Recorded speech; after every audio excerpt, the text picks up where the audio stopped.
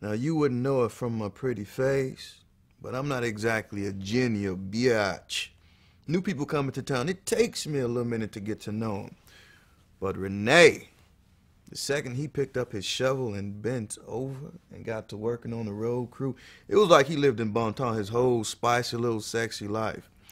And he's the only one of Arlene Fowler's men I ever thought had the balls to stand up to it and still keep her all fired up and shit. Now, the worst anybody can say about Rene is that he did pick a nutcase for a girlfriend, but hell, you can say that for just about every white boy in town.